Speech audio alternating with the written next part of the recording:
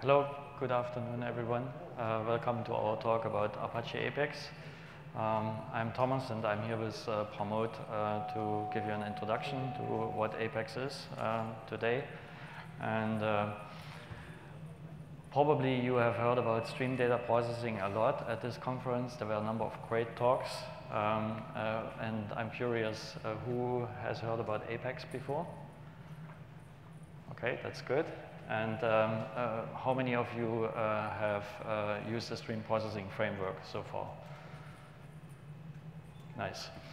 So um, let's uh, start then with um, um, what is stream data processing in a short summary. Um, so we have uh, a number of data sources, an increasing number of data sources, and also increasing volumes of data uh, that we would like to process and turn into actionable insights. Um, data come from IT, IoT devices, a wide range of data from Kafka topics. Um, files, uh, files are also um, uh, actually a continuous source of data uh, as they are being continuously produced, uh, then social media feeds and so on. So there is a lot of data, large volumes, and we want to find ways to process that. Um, what is common uh, to these is these are continuous streams of data, so there's not really a start and an end point. Uh, the data keeps coming, and uh, we want to be able to um, uh, process it and compute uh, results from it. Um, the uh, architecture um, to uh, deal with uh, large volumes of data and with high throughput is really an in-memory processing architecture. And uh, there are a number of frameworks out there that do uh, processing in memory. Um, in addition to that, when we have a continuous stream of data, we need to establish um, boundaries at which we can do computation, so, and um, at which we can emit the results. And uh, those are called windows in stream data processing systems and most of the time uh, time-based windows. Um, what is very important uh, to do um, this type of processing is that we can maintain state uh, in a system. So um, let's say I want to compute a count. I need to uh, collect um, uh, the data and I need to count. I add every time uh, I receive a new event. I add uh, to the count, but I need to maintain that count in memory, right? And I can't uh, lose it because at some point I need to uh, materialize that result and provide it to a downstream system. So state management, stateful operation is key to stream data processing. Um, having that foundation and then being able to do aggregation, rules processing, and so on, that enables us to build streaming analytics pipelines. Uh, then what do we do with the results? The results uh, um, can be made available to a variety of uh, other systems, the usual suspects, databases, uh, files, um, but also a message bus like Kafka to give it to uh, other downstream systems. And an interesting um, uh, idea also that was presented earlier today was actually to make the data available from the in-memory state that we have uh, to, um, to a querying system directly. Uh, so this is an, um, this is an example uh, flow uh, here. We have a browser that uh, generates events on a web server.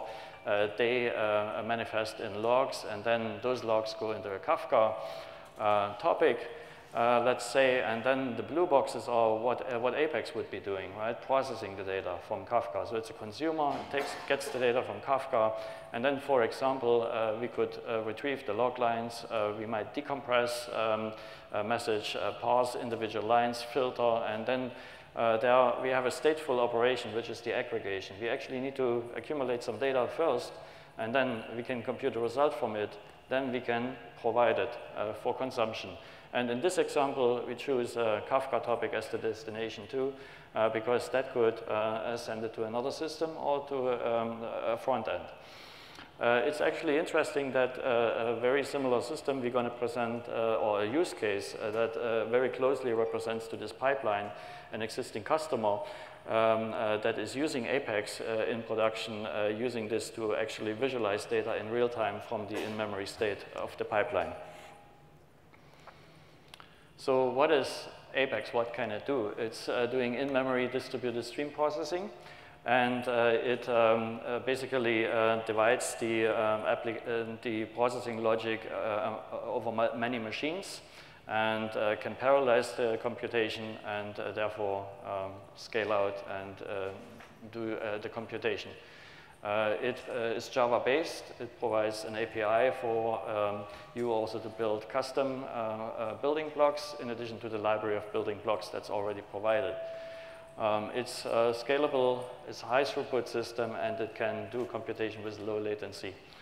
Um, and uh, in addition to uh, the scalability in general, uh, it's also possible to scale um, up and down dynamically with Apex. So uh, elasticity, uh, we refer that to. Um, uh, it also has a number of optimizations for compute locality that allows you to arrange the, um, the different, we call them operators, in the system for better performance, collocate in the thread or collocate on the same machine or in the same process.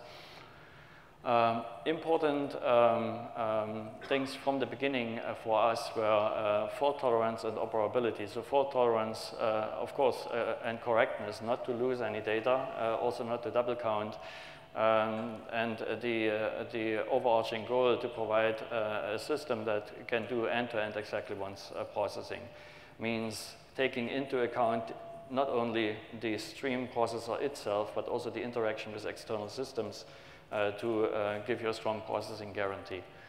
Uh, so stateful means the state is preserved. Uh, there is something that, uh, there's a mechanism to bring back the state uh, in the event of a failure. And so checkpointing is the way to, um, to keep the durable copy that can be used for recovery.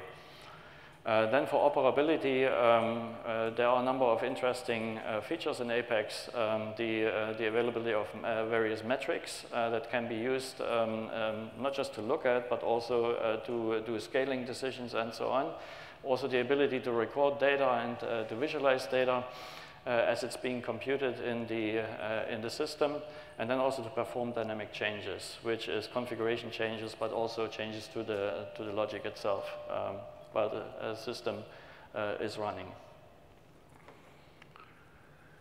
So in the Hadoop stack, Apex is a Hadoop-based uh, platform. It runs on top of Yarn and HDFS, and um, it's um, broken down into uh, two uh, pieces. The uh, engine, the engine which provides for the high-performance fault tolerance, fault tolerance streaming, and the data and motion processing, um, and then the uh, library, um, uh, Malhar, which uh, provides uh, ready-made operators that uh, you can use to assemble applications. There is a wide range of connectors in there uh, that interface with most of the common systems out there. I mentioned Kafka earlier, but there are also connectors for um, HBase, Cassandra, um, and RabbitMQ, and many other systems. So chances are you will find what you need there. Uh, on top of that, uh, DataTorrent uh, provides a number of value-added tools for visualization. Those actually use the same REST API that is also available uh, to, to build custom tooling uh, that allows you to access applications at runtime, get stats from there, um, but also control certain aspects and make dynamic changes. So there is a nice management console um, um, to, uh, for, for, for the admin. Uh, there's also a visualization uh, dashboard uh, for data visualization as it's being computed inside Apex applications and a way to assemble applications um, without writing the Java code. So I said that Apex is a Hadoop native system. Um, what that means is, um, uh, or Yarn native rather, what that means is um, there's an application master. Every application that the user launches on the cluster, there's a separate application master. Uh, and um, the application master is uh, responsible for acquiring the resources that are needed uh, to, for, for, for, the distributed compute. So it will look at the processing graph that was defined, and then it will acquire the containers. will require the containers initially, but it's also able to acquire resources dynamically as the application is running. Because if we uh, talk about things like dynamic changes, dynamic scaling up and down, or uh, introducing new compute logic, you need to be able to go and get the resources for it. And, uh, and that happens by interacting with the Yarn resource manager. So the green boxes, the other green boxes with the numbers, those are the streaming containers. So with that, all the, um, all the things that you are familiar with from Yarn apply or from Hadoop in general. It plays nice with security. It, uh, you have multi-tenancy, and you have full isolation uh, for applications on a secure cluster. The application uh, development model, um, it's uh, operators and streams, uh, and uh, you form a directed acyclic graph. There's one exception to the directed acyclic graph is uh, when you do when you want to do iter iteration uh, processing, it's actually possible also to feed the output of one operator back upstream as an input. So a stream is a sequence of data tuples. In a streaming first um, system, we process event by event without uh, waiting for batches and things like that. So uh, each event is presented to the uh, operator as a separate um, call. And um, so the stream is a sequence of uh, such tuples that is given to the operator. An operator can accept multiple streams, and it can produce multiple streams too. Um, yes, and so operators can be pre-built operators from the library or custom-built operators against the Apex API. So then uh, the next um, um, concept that is important uh, for the state management is um, checkpointing and um, uh, the, we, we, call it the streaming window also in Apex, not to confuse with application uh, level windowing. Um, these are um, events that flow uh, through uh, the graph, processing graph, through the execution layer along with the data. So um, every source uh, will generate periodically, and the default is 500 millisecond uh, window tuple. The window tuple traverses the entire DAG.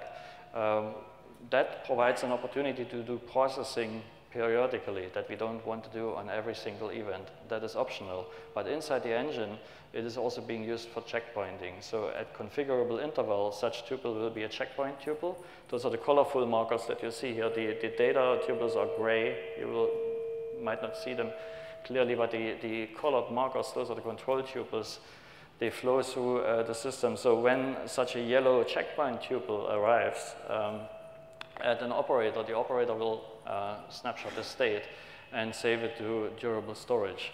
Uh, so that means, because um, every operator does that uh, asynchronously and in distributed way, that there's no blocking and there's no central um, entity involved in the checkpointing. Uh, and uh, the saving of the checkpoints uh, is also asynchronous, um, so to not block the processing. So with this checkpointing, we have a consistent state. We can uh, go back to that state uh, when we need it for recovery, um, but it's also needed, uh, for example, for dynamic partitioning when we need to redistribute the state. Uh, important point here, no artificial latency. The, these streaming windows or intervals have nothing to do with microbatches. These are just additional events inserted into the flow and traversing the DAG. So what then about event-based computation? So um, it's important that we, we can do processing based on event time because this is how uh, the user most of the time understands the data and also to decouple the processing uh, from the from the time at uh, which a window uh, from the time at which an event was generated. For example, we may want to replay uh, last uh, week's data and we want to have the same result. So we need to be able to look at the event time. So how does that work when you do when you do processing on Apex? you have your data tuples, and the data tuples contain the timestamp. That's the event time, uh, the um, uh, dark blue boxes on the top. Uh, below uh, the arrow, you have the state. So the state, those are time buckets really, and uh, the, uh, the processing of the data tuples affects the state. The uh, vertical lines are checkpoints, uh, moments where checkpoints are taken. So as the events come in, we update the time, time buckets, and then the checkpointing will actually make sure that the data is saved. So as you can see, we can repeat the same sequence of events, we will achieve the same result. Um, in addition um, to that, uh, uh, Apex uh, operators support also a, a, number of the other, other windowing semantics um, that you might be familiar with from Beam. So scalability is achieved through partitioning. Um, this first uh, slide probably will look familiar to you. So you have one logical operator or task. You want to have multiple um, of those in the execution layer so that you can process more data. Uh, then in addition to the uh, task, there is the uh, unifier that uh, brings back the output of multiple uh, um, partitions. what that Unify exactly does, of course, depends on the compute logic. So if you have an operator, for example, let's say we are counting, then the unifier is simple, right? You're just adding up all the partial counts and we get the total count, and that's great. Uh, but if we do a top-end uh, computation, then the unifier logic is uh, much more involved and different. So that's why the unifier in Apex is also a pluggable component, but it's tightly related to the operator that is getting partitioned. So on the right side, that's shuffle really, what you see there each operator can, the parallelism on each operator can be controlled separately, and uh, then the unifiers um, are also uh, partitioned as to avoid bottlenecks um, uh, in, in the processing. So this is standard stuff. Uh, it's shuffle. So let's go to the uh, advanced partitioning. So uh, Apex has a concept of parallel partitioning. Parallel partitioning means I don't want to have a shuffle after every operator. I would like to process multiple do multiple computations in a sequence, and then I only I want to have a unifier. So uh, it's possible to express that. So we can build uh, parallel pipes here. So uh, for example, here you have uh, three operators arranged, uh, and then you have another partition of three operators. So these process independently. Of course, this provides for greater efficiency, right? Because we don't need the shuffle, but it also has another benefit. If I'm, let's say I don't have this operator, the last one, and I don't need a unifier, then I have truly independent pipelines. And uh, they process independently. They also are independent when it comes to recovery. Uh, so let's say one operator fails this one here, then there will be no effect whatsoever on this pipe here uh, in the Apex topology. But uh, these two operators, they will have to be reset to checkpoint and recovered. Um, this is a unique feature in Apex, and it enables to, you to do things like speculative execution uh, to uh, achieve uh, an SLA guarantee. Uh, then uh, we have cascading unifiers. Um, so assume we have an operation that reduces the data. so we get a high, high volume input, but we have a relatively small output uh, in terms of data volume. So now we may have a bottleneck here, the network interface, for example, on a single machine.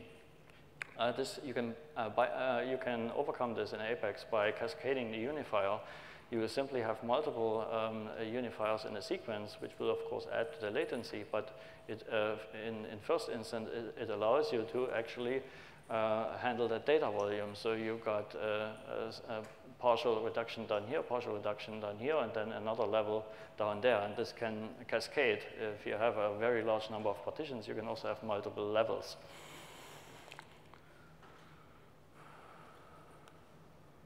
So then uh, we support dynamic partitioning, um, as I said um, earlier. So we have, um, uh, let, us say we have two operators each of uh, one and two.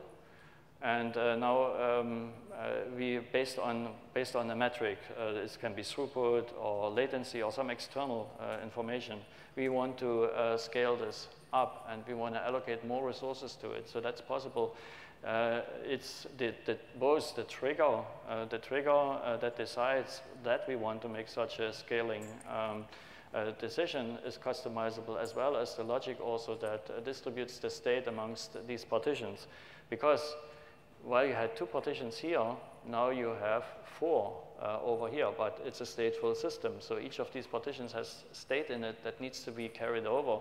And actually how the state of two is redistributed into four partitions, that's something in many cases that only the uh, developer of the operator or the application knows. So there are some uh, default implementations that we have, but in general, this is all something that uh, the user can influence.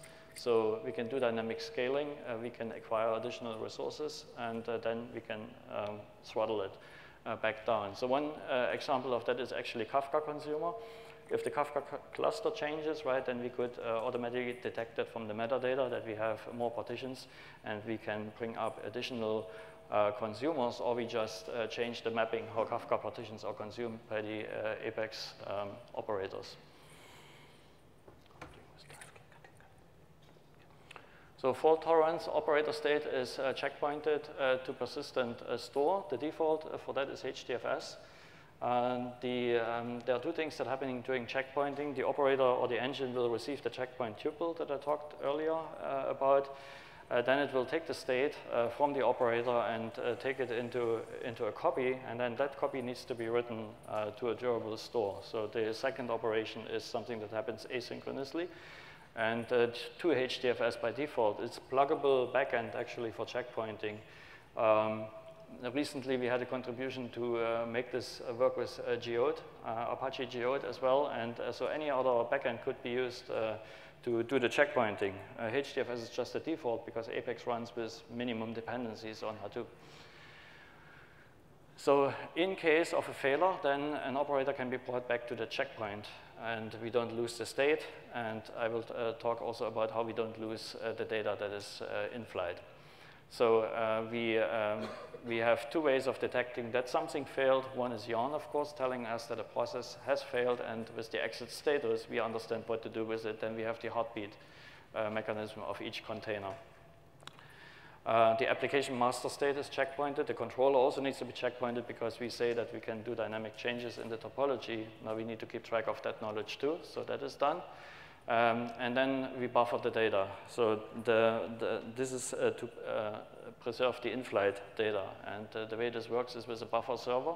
Each operator that produces data sends it to a buffer, and then the downstream operator takes it from the buffer. This is an in-memory PubSub mechanism. This is like Kafka without disk, sort of, because we don't, we, we don't need the fault tolerance for that buffer, but we need the buffer to be available uh, if the this operator fails, we bring back the checkpointed, uh, bring back the replacement with checkpointed state, and it will go back and subscribe with the buffer as of with the position of the checkpointed state. So there is no need to do anything over here if this operator fails. There is no resetting the entire topology in Apex. This is incremental recovery. Um, and uh, the same mechanism is also used for dynamic partitioning. So finally, uh, we have end-to-end -end exactly once. Um, so uh, we, um, Apex um, has the ability to uh, do the checkpointing, doesn't lose the data. It uh, is an, it, it, uh, it will replay the data when it's needed, uh, given idempotent operation. This is exactly once within the system, and then depending on what system we are interacting with, and this is where the operator library comes into the picture. We are utilizing the support that that respective system offers. So for example, when we are writing to a database, we will use transactions. When we are writing to files, we will use atomic file renames.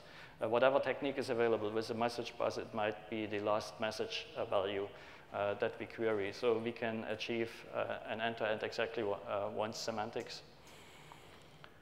So with that, I will hand it over to Pramod, and he will talk about the application development on Apex. Thanks, Thomas. Um, so, so far uh, we saw the features and functionality of the Apex uh, stream processing engine, um, scalability and fault tolerance features that it provides. Uh, now let's like, take a little bit of look into the application development. So in some of these slides, uh, you will see an Apex logo on the top and some won't. When you see the Apex logo on the top, that means that that's already in Apex, that's a feature in Apex. Otherwise, it's an add-on that's being provided by DataTorrent. So um, the easiest way to build applications if you already have your business logic is, is our uh, pipeline builder. Um, so as Thomas talked about earlier, uh, you basically, to build your application, you write these operators, which are the building units of your application and encompass your business logic. Uh, so with this pipeline builder, you can connect these operators up to quickly um, get your pipelines going. Uh, you can configure these um, operators and uh, basically just build uh, operators, different kinds of pipelines. So um, then uh, if you want more flexibility and uh, when you're actually building this business logic, um, you basically do your, build your application in Java. There are two ways that are supported. Uh, there's a low level API and there's a high level API. Um, the low level API is more compositional. Um, you're actually building a graph. Um, you're basically specifying the individual processing units in the graph. Uh, and then you're connecting them up. So this is a simple word count application uh, with four operators. Uh, the first one's reading the data from an input source. The second one is parsing it. The third one is counting the words continuously. And the fourth one's outputting it, uh, just showing it to you on a console.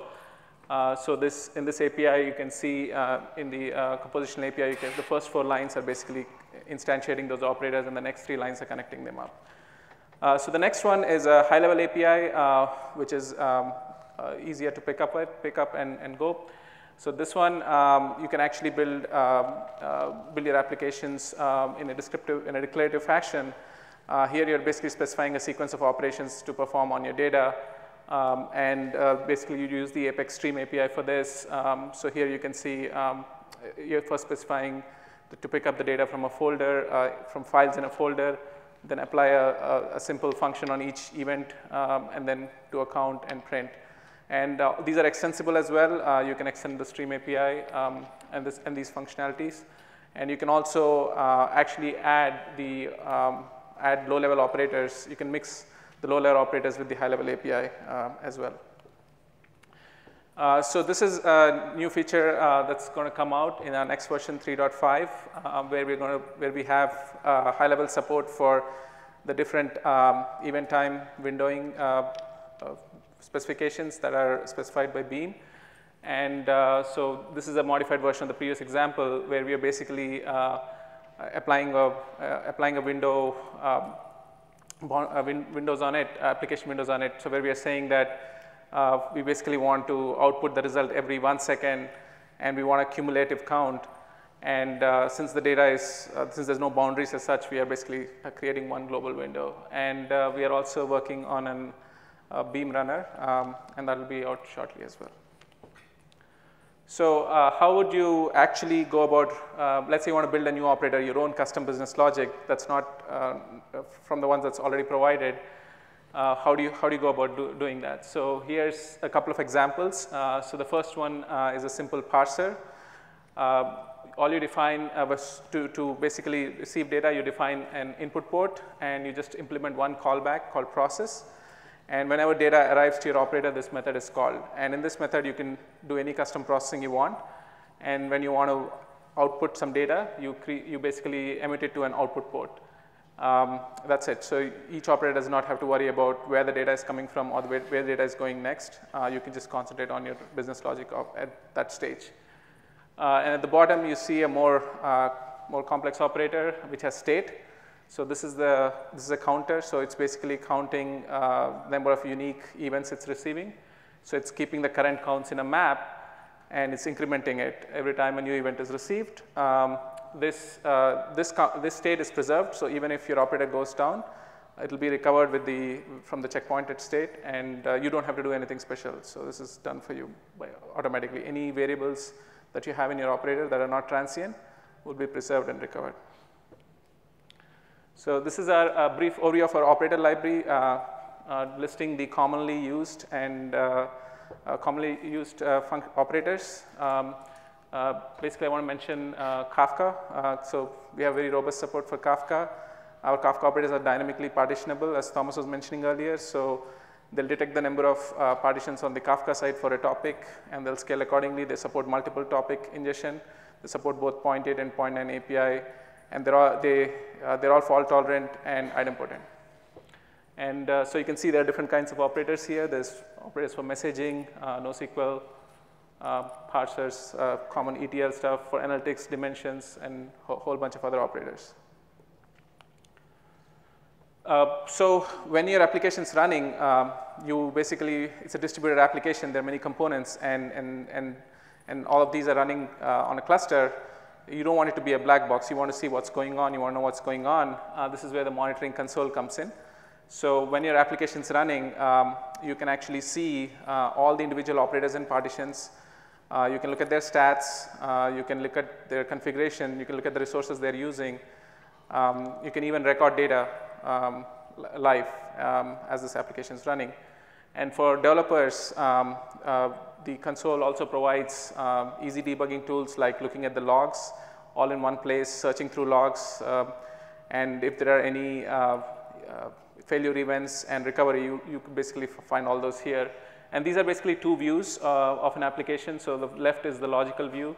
So this is the, uh, this is the application as you uh, designed it. And on the right side shows the multiple partitions. So as you can see, the block reader and block writer actually partition four ways. Um, so you can basically see uh, at both a, uh, a logical level and a physical level um, all the details. And uh, there's one, one thing you can see on the right actually, if it's not, I don't know if it's clear, but uh, the partitions are of this, uh, so the block reader and block writer partitions are of the same color. That's, that is actually showing locality, that's another feature we provide. Uh, these operators could be uh, separate processes running on different machines. They could be uh, on the same machine, they could be running within the same process as different threads, or they could be running inside the same thread. So we allow uh, different placement of operators um, based on uh, you know, your data needs, based on your processing needs. Uh, and this is another capability that Data provides is real-time dashboards. Um, so if you, if you want to visualize your data uh, from, uh, from the output of your application in real time without, without it actually touching a store, you can do that. And we provide a rich set of widgets as well. Uh, you can add your own widgets um, as well. Uh, so just briefly, I uh, want to touch upon some of the use cases. Um, so uh, we have, so Apex and Data are being used in production um, in, um, in different places. And uh, these are basically uh, use cases where the customers have uh, talked about these um, and they have done meetups. And uh, there's a slide after these use cases which has links to those videos and slides as well. So the first one's uh, PubMatic. They are in the ad space um, and they provide analytics for publishers. So they are able to analyze your um, ad impressions and click logs and slice and dice that information and perform different dimensional uh, combinations and cubing and show those results in real time. Um, so they are, they're using it. And uh, this, this, is a brief overview of you know, how much data they're processing and, and uh, what is the outcome of them using Apex. The second one is uh. So GE is uh, one of the leaders in industrial IoT. Uh, they have built a platform called Predix, which is a cloud-based platform. And uh, it's, it's used to basically process data from all the GE machines that are deployed across the world Right? Think about windmills, uh, you know, deep sea oil rigs. Uh, think of you know, whatever, uh, you know, G is pretty, pretty big. So with G, G basically is using uh, uh, Apex in their time series uh, application service, where they're, basically using it to ingest and process high-speed data um, in the order of millions of events per second. Uh, so next is uh, Silver Spring Networks. Um, they're also in the IoT space. Um, they basically uh, provide the technology for smart meters uh, for utilities, and they basically are able to, uh, they provide technology to collect and process data. And uh, they're, they're basically using Apex to analyze uh, logs and failures uh, so that they can predict future outages, big outages. And, and they're basically getting input data is XML and they're doing processing and their outputs Avro. Um, and uh, so, so, essentially, the different file formats they're using for their different applications. And this, this page has the links for the use cases uh, that I talked about if you want to go in depth into detail and, and, and look at what those are. So in the last page, uh, some more resources um, about Apex and any of the features that Thomas and or I talked about. If you want to go in detail, uh, there are slides there and, and videos um, that basically give you uh, more details on these. Um, it, um, any questions? Yes, ahead.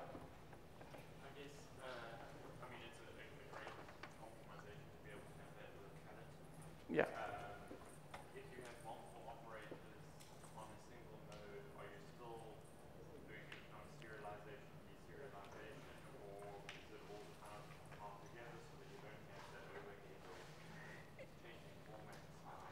If the locality is node local, which is there are different processes on the same node, data is still serialized, but it's through the loopback interface, so you're not affecting, you're not sending the data over the network. But if they're in the same container, then there's no serialization. It's just going through an in-memory queue.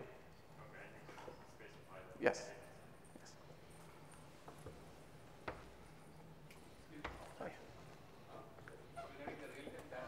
Yeah.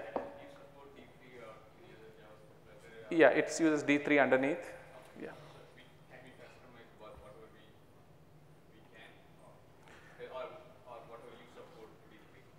So the widgets are pluggable, so you can, you can, you of course your widget has to follow certain uh, API, but yeah, you can plug in a different framework if you want it.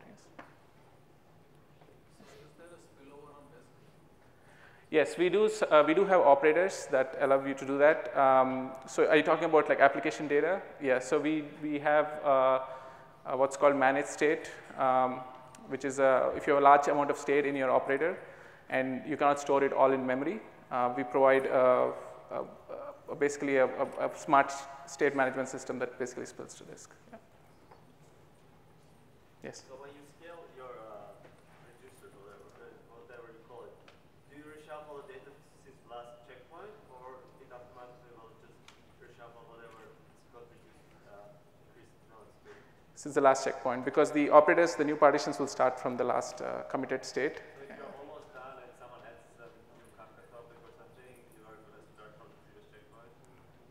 Yes. It's, it's consistent state, right? So we need to, uh, when you do a, a, partitioning, you need to take the current state or the, the last consistent state that you have. You have to redistribute it uh, to get the new state and you have to bring it online. So uh, we can only take data that is consistent. Uh, it's actually similar to the recovery case. Uh, when an operator goes down, it goes back to the most recent available state that we have checkpointed, right, or the most recent possible. Uh, the dynamic partitioning works in a similar way. So, uh, in case of replay, will you uh, use the existing cache? Yes, because um, the, the data is already available in the buffer of the upstream operator, so it will automatically be replayed. So the operator will restart and it will pull the data from the, from the buffer. Yeah. Unless it's the input operator, which is the first operator. In that case, it needs to keep track of the offset in its state. For example, the Kafka operator keeps track of the offset. So when it restarts, it pulls the data from the offset.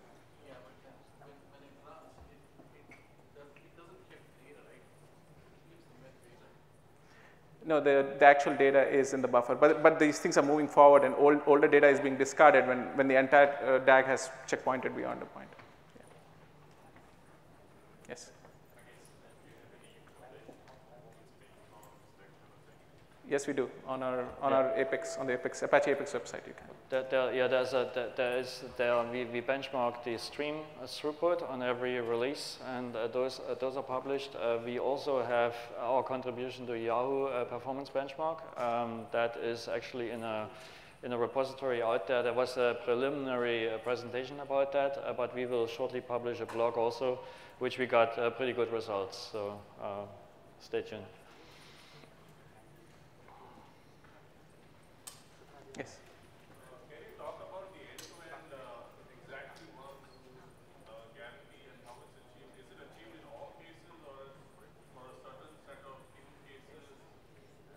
So, so what? Uh, so it, it, it's achieved with the with the uh, with the platform and the operator working together. Typically, the output operator. So the platform guarantees that it will recover the state and it will play the uh, you know you'll receive the tuples in an idempotent fashion, right? So if you look at um, the output operators that we have in the library, for example, the file output operator or the database operator, they will basically ensure that the, the state with the external system is consistent with, the, with what they've recovered from the checkpoint so that they don't duplicate the data. So I could go into details if you want offline when, uh, after that. Yeah. Just a follow-up. Basically, the problem I see is you're writing to a, like a compressed file of HDFS. Mm -hmm. Mm-hmm. No. Uh, we, we, we, we do have, uh, we, can, we can take, uh, take it also offline in case there are other questions, but we, have, we do have, uh, we do have uh, actually operators specifically for file output that preserve the exactly one semantic.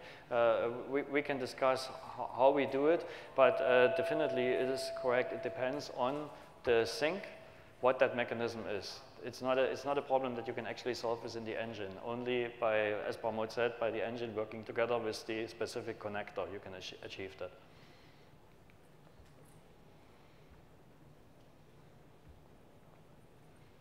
Any other questions? We are available after the talk. Uh, if, if, if you wanna, want more details or have any other questions, we will be there uh, at the room, at the door.